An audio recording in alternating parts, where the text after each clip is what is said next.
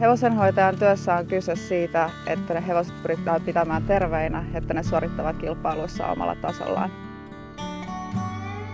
Parasta hevosenhoitajan työssä on hevonen itse. Niiden kanssa tulee parhaita kavereita, kun niiden kanssa touhua. Hevonen on työkaverina tosi, tosi kiva.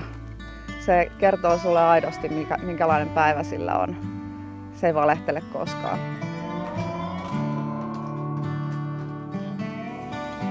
Mun ikimuistoisin kokemus on ollut tässä hevosenhoitajan työssä viime vuonna Sahara Sandstorm ja Heiselhen Hermeksen kaksoisvoitto Käppylä GPssä. Hevosenhoitajan ammatti on antanut mulle tosi paljon. Se ei ole mikään helppo ammatti, mutta se antaa enemmän kuin ottaa.